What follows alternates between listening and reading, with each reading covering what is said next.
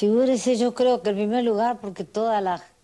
toda América Latina ha tenido siempre una gran eh, influencia cultural de Francia. Nosotros, todos los jóvenes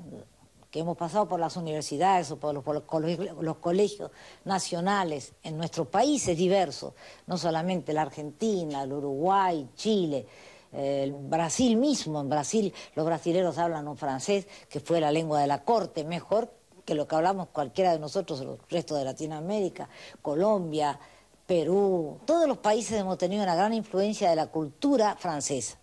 Entonces, en el momento en que empezaron las dictaduras terribles en América Latina, que fue entre los años 1910 a 1900, casi después con distintas eh, etapas sucesivas según los países, los jóvenes venían a Francia. Miguel Ángel llegó a París cuando tenía apenas, no había cumplido 23 años.